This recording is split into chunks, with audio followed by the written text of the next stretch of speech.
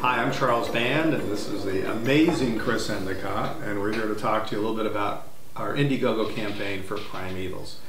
Uh, we've been told to make this kind of short because we could talk for hours, I'm sure, since this is a project that was uh, kind of born in what 1969. Is that possible? Goes back a ways, yeah. Like 50 years a ways. But um, I'm sure most of you watching this already know a bit of the history. Uh, Chris can speak very well about it because Chris was uh, uh, Dave Allen's uh, right arm guy. I don't know if that's a good way to put it. Uh, and all this dates back many, many, many, many years. Uh, but for those of you who don't know the history, very, very briefly, uh, I met Dave in the 70s. Uh, I was fascinated with stop motion animation. I was making small independent movies. Um, I was making about to make a movie called Laser Blast, and I had this idea for these aliens to be these stop motion guys.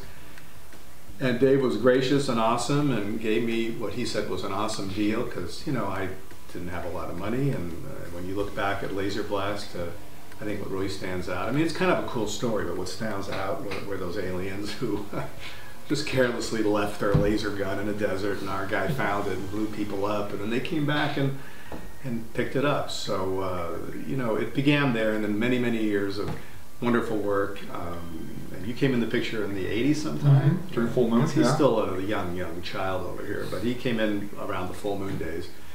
You know, with Puppet Master and just before that, Dolls and all this under, uh, wonderful work. Dave Allen, uh, his, his uh, I don't even call it a pet project, that demeans it, his, uh, the project that he wanted to do from day one, and he told me, he said, Charlie, I'm going to do this work for you over the years, but you've got to find a way to make the Primevals. You know, we can make it together. It's and he explained what it was, which sounded amazing, but like way out of my reach because it involved hundreds of stop motion shots, whereas, you know, I think Laser Blast had 10 or something or eight, you know, and they're expensive. And it's a technology now, unfortunately, is sort of uh, retro. Today it's all CGI, which I personally don't like at all, with a few exceptions.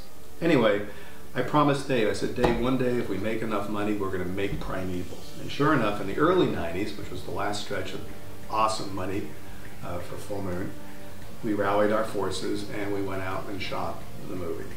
Uh, Chris was on location. My dad was the uh, executive producer, and you know he loved every minute of it. We shot for 10 or 12 weeks, which is about 8,000 times our usual schedule uh, in Romania, in Italy, the Dolomites. And the plan was afterwards to spend a year, year and a half doing 250, I'm not sure if that's the right number, stop motion animation shots, even though the movie was shot. So for Full Moon, it was it was its most ambitious venture. The, the, most money we ever spent on the movie was some millions of dollars, which for Full Moon is billions in you know the, the mainstream world. Uh, and to have that movie shot and all that money spent, and then know it'd be taking a year, year and a half to do stop motion was a big investment for us, and, and also be able to wait. So about two thirds of the way through that, I'm not sure exactly the percentage of that. The shots were coming in; they were magnificent and this is hard to talk about, but poor Dave Allen um, passed away from cancer. And that was around the same time where the fortunes of Full Moon sort of turned, and, and you know, we had to kind of restrict and, and, and you know, get smaller, and because the business changed. So essentially, we put Primevals in a big box, which was administered by this man, big, huge yep. box to wait for a day where we could afford to, you know, come back and, and finish the movie, or at least finish as much as we could to let you guys see it.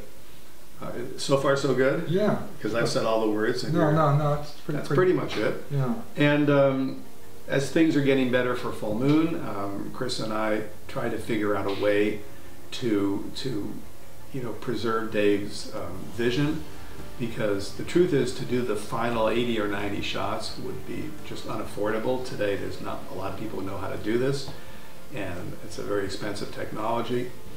Um, so we wouldn't be able to finish the movie exactly the way Dave wanted, but luckily he had very specific storyboards. And what we finally came up with, uh, the, the compromise, was we were going to finish the movie, which would still require a year of stop motion and a number of more shots, so that it would be still presentable as a linear film. It would essentially not have the final, final act, which is where the dam breaks and all sorts of other expensive stuff happens, so that we would be able to then show uh, on a on Blu-ray, because we're going to obviously release it on Blu-ray. It may have some marginal theatrical release, we don't know. You'll essentially see two versions. One will be the slightly shorter version that will be you can watch it like any movie.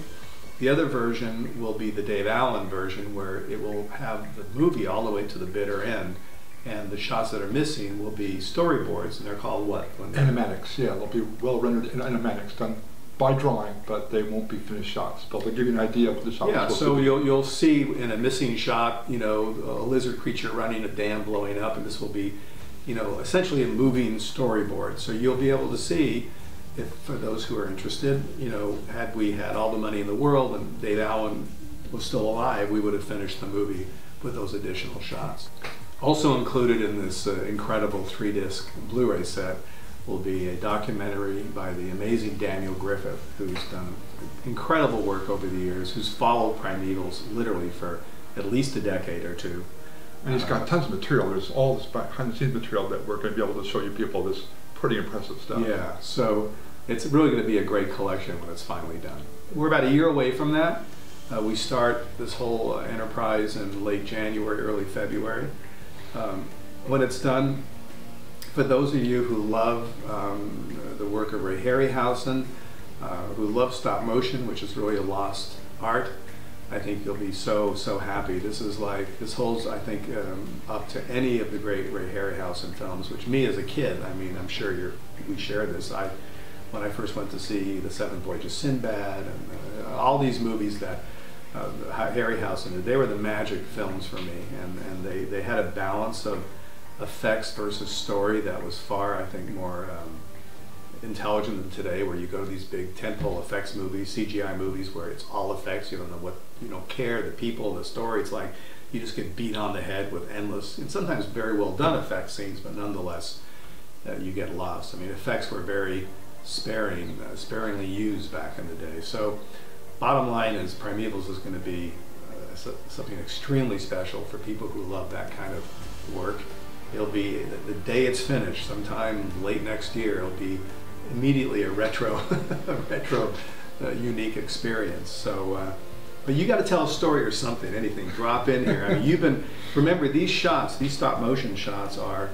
I mean, just for those who really have no idea, explain sort of like one shot, just how it works. Well, I think most fans of this genre know that you shoot live action first, and then in post-production you drop one of these characters in through different techniques. Sometimes it's like a Harryhausen animation shot, sometimes it's like a blue screen shot. But yeah, and, and when it comes down to the animation, it's just a person with a puppets shooting one frame at a time, moving a little bit, taking a picture, moving again, taking a picture, all the while having in your head the whole performance. You have to take the performance in your head and stretch it out in time and think about it bit by bit by bit. And then when you get it back, you know, and we're, end of the day, it's, you know, it's kind of a little bit of magic. It is magic. Also because, again, unlike CGI, not to keep beating up CGI, I mean, th- this is um, one of the original Yeti uh, stop motion animation. Um, Yeah, right? Yeah, it's sculpted mostly by David with other people's help, and uh, the fur work's done by David. So this is a character that David had in his head for a long time. In fact, this there was an earlier version done in the 70s, uh, but David refined it for this version, and so this is kind of a character close to David's heart. And and uh, the lizard creatures. Lizardmen, well. yeah, those guys are even older. They they date back to the 60s, and it was something that David wanted to do for a long time. And the beautiful part about this, again, apropos CGI, is yes, it's it is a unique sort of uh, wizardry, but these are three-dimensional characters. You know, this is not a cartoon. This is not something enhanced in a computer. These are real characters. So there's something magical about seeing these guys. That's why for years. Uh, after I met Dave, a lot of the movies I've made, um, I couldn't afford much stop motion, especially after Dave passed away. But you know, we do rod puppetry. We do things that are live on set in camera. So, you know, the actor's not performing to a you know a spinning light or something. So anyway, to wrap all this up, um, we are now I think three weeks into our Indiegogo campaign. We've raised some money, so thank you to all of those who who've contributed. We still have a ways to go. You know, we're only about 12, 13 percent of our of our budget. Uh, we are going to make a few changes. Um, as you listen to this, we're going to take the beautiful Yeti sculpture made by the uh, The Eager brothers, yeah. the Higa brothers, who the sculpture is just magnificent. Uh, we don't have it here just yet, uh, but we're going to take that um, sculpture, uh, the Yeti sculpture holding the lizard creature, and we're going to reduce it to 225 bucks. Uh, they're expensive to make because they're made in a certain way, and they're expensive because they're all hand painted. But we want people to be able to own those, the limited quantity that we're going to make. So those are going to be uh, at 225. You can purchase those at 225. Of course, there's plenty more of the uh, the awesome lizard creature busts uh, left. We've sold quite a few already. Uh, we're also going to put in shortly a few lower priced items. We're going to have a really cool T-shirt with some of the original art that Dave worked on. And we're also going to have 11 by 17 posters, so not everything is $100 and up. But I guess the bottom line is um, we, are excited to finish this. It's uh, I don't know where the future is exactly. There's some really nice things brewing, but it, it was and is the most expensive film and the most ambitious film that Full Moon ever made, and it doesn't take that much to finish it. So we, we appreciate all your contributions. Um, the cutoff is around January 10th, so uh, hopefully if you steal some Christmas money, you can uh, send it into this project.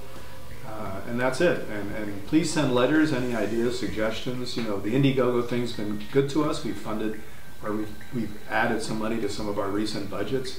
Like the last Puppet Master show, we, we raised some money, and that was very helpful to put a little more value on the screen. The world's very different today. you know, the, all the stuff that kind of fueled what we did for so many years, like the video market and video rental, rental and Blockbuster and Hollywood, gone.